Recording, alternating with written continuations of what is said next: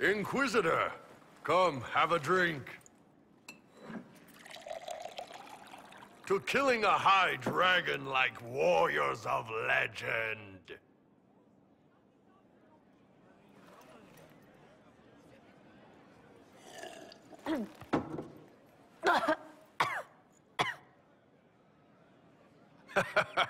I know, right? Put some chest on your chest. Mmm, that little gurgle right before it spat fire. And that roar. What I wouldn't give to roar like that. The way the ground shook when it landed. The smell of the fires burning. Tarsidathan Halsam. You know, Qunari hold dragons sacred. Well, as much as we hold anything sacred. Here, your turn.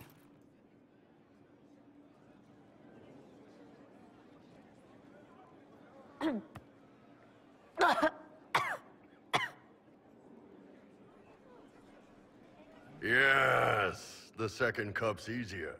Most of the nerves in your throat are dead after the first one. Ataashi, the glorious ones. That's our word for them. Ataashi.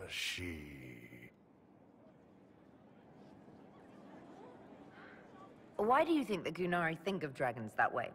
Well, you know how we have horns. We kind of look more... dragony than most people. Maybe it's that. But a few of the Ben-Hassrath have this crazy old theory. See, um, the Tamassrans control who we mate with. They breed us for jobs like you'd breed dogs or horses. What if they mixed in some dragon a long time ago? Maybe drinking the blood, maybe magic, I don't know. But something in that dragon we killed spoke to me.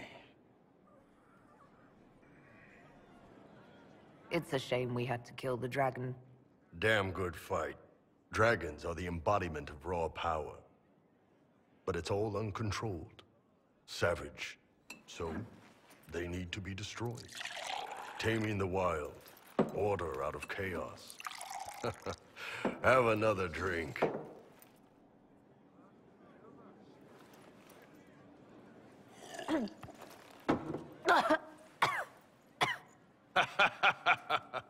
nice. To dragons.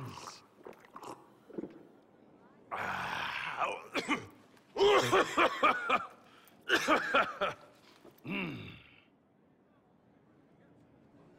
To finding the biggest, baddest things in the world and showing them that we're badder. Anan.